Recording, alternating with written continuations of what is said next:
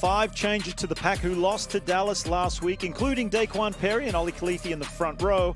Mahonri Ngakuru returns and he gets the nod at lock. And former New York flanker Manate Akwe finds his way back into the MLR to join a fellow ex ironworker in the back row as Pango Haini replaces the injured Riekert Hattingh. And only two changes in the back line as the blow of losing US Eagle Tevita Lepeti is balanced out with the return of Australian Wallaby legend Tevita Kuridrani at outside centre. And Ina Futi comes into uh, right wing, moving Conor Mooneyham to the left wing in place of Tony Pulu.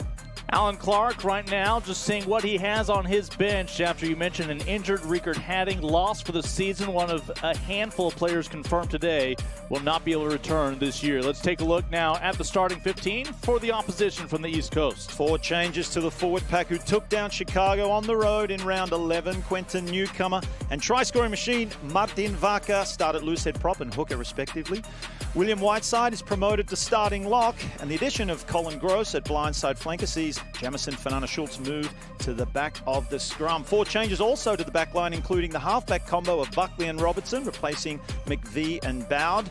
The versatile Will Talataina steps into inside centre, while the promotion of John Rizzo onto the right wing shifts Perry Humphreys back to fullback. We'll be hearing the voices of Damien Schneider and Derek Summers throughout the evening.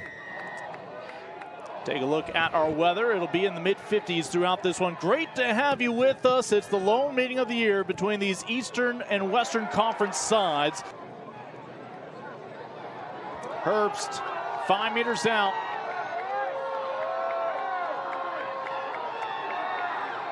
Cameron Orr surges, Orr spins, and he is down. Seattle, the first to cross the try line. Too much pressure from Seattle, knocking at the door.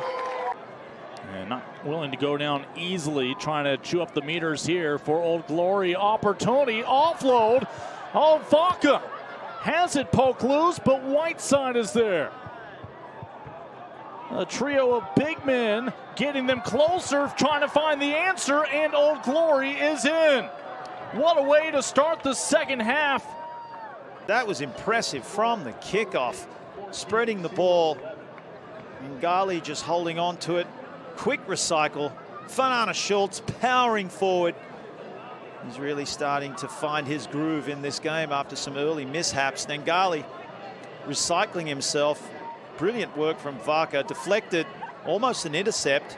But Whiteside just drives toward that try line, and that pass was precision perfect into space.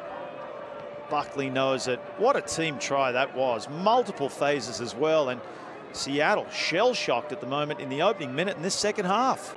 Uh, it's still an opportunity here for the home side. Smith actually being dragged to the five-meter line by Old Glory. Not much room for Donald. The next phase is in. Oh, what a lunge. Seattle has its second try of the match.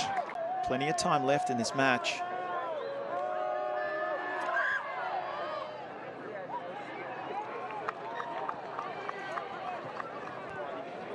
And Paloma Roberts came on about a minute ago.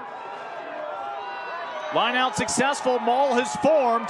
Deval Donald and company spinning towards the line, and Seattle's in for the third time tonight. And a little bit of breathing room for the first time. You'd have to say it was a mere formality at this stage for Seattle. Unable to add his weight to this defensive effort from DC. Manate Akwe, the newcomer, able to leave his mark. And that'll be a special one for Manate. Getting his start again. Looking for support, hands it off to Gross. Trying to keep it in play. He does. They say play on, and Talataina will do exactly that. Talataina has Old Glory within a conversion of tying this match up. And they've done enough to take Old Glory over the sideline, but you cannot sleep on this team, Old Glory. Great work here from Talataina. And then Bowd shifting it to Gross, doing his best. Can we see? Wow. They're going to go to TMO. They've told Jason Robertson to hold off. This is probably your best angle, and if I was to speculate, which I'm about to, I never saw a DC foot in. He was definitely over the sideline in the air, but as long as that ball's going backwards, you believe that ball is going to be a try. I so I think that was fine. It was just whether Colin Gross's any part of his body was out on the ground. It's a try.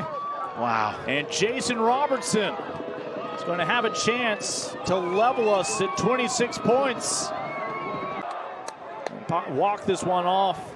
If they could find a third try, Windsor says that's enough. We'll take the four points. Seattle back in the win column. Through 12 weeks of play, nine wins to show for it, including another at the Fortress of Starfire.